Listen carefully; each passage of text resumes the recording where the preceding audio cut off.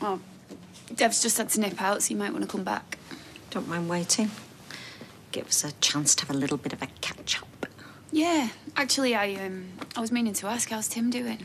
Oh, we're doing that, are we? Actually pretending we give a damn. Excuse me, Sally, it's you I've had the problem with, not him. Is that why you arranged for the photo to be put in the Gazette? I'm sorry. I mean, how did you even get hold of that?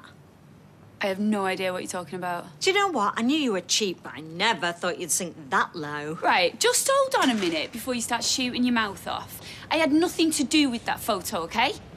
And I'm sorry. If anyone was sinking low, it was you peeing in Victoria Gardens. Okay, ladies, please. I've had enough rowing in here today to last me a lifetime, so can I suggest you take this outside? Don't worry, I'm going. But if you want to play dirty, then game on, because believe me, I'm going to have a field day digging up filth on you.